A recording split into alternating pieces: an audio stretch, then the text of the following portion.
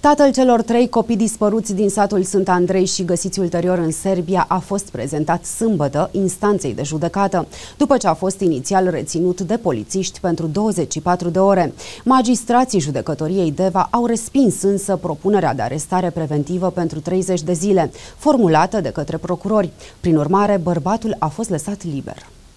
Decizia instanței nu este definitivă. Respinge ca neîntemeiată propunerea de arestare preventivă formulată de parchetul de pe lângă judecătoria Deva în dosarul de urmărire penală cu privire la inculpatul Marțian Adrian. Cheltuielile judiciare în cuantum de 200 de lei avansate de stat rămân în sarcina acestuia cu drept de contestație în termen de 48 de ore de la pronunțare, pronunțată în Camera de Consiliu astăzi 19 octombrie 2024, ora 20 și 33 de minute, se arată în minuta judecătoriei DEVA publicată pe portalul instanțelor de judecată. Vă reamintim că cei trei copii, două fetițe și un băiat de 7, 9 și 11 ani, au fost găsiți joi în Serbia, fiind preluați vineri dimineață la prima oră de la granița româno sârbă la porțile de fier 1 de o echipă mixtă formată din poliții și reprezentanții ai DGASPC Hunedoara. Vineri, după audieri, bărbatul a fost reținut pentru 24 de ore, fiind acuzat de nerespectarea măsurilor privind încredințarea minorilor, inducerea în eroare a organelor judiciare și participație improprie la trecerea frauduloasă a frontierei de stat.